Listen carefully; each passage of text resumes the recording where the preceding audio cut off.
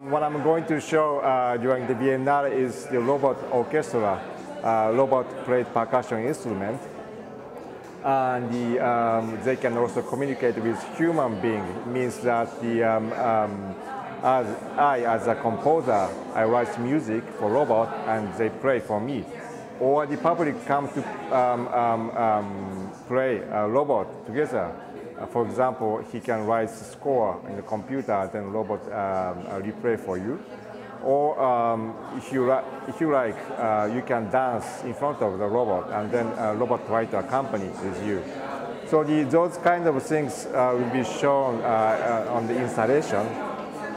And at the beginning of the day and also at the end of the um, Biennale, we're going to have the composition with the robot orchestra. So the, that's basically uh, what I'm going to show.